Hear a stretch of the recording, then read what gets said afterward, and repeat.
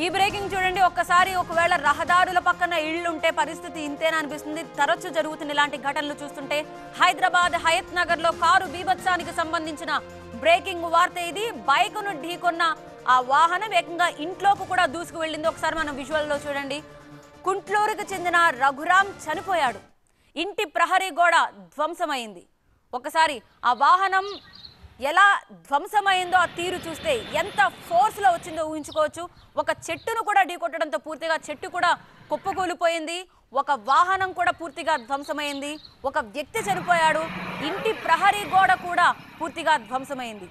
అతి వేగంతో వచ్చిన వాహనం అక్కడున్న ఒక మనిషి ప్రాణాలను కూడా తీసేసింది.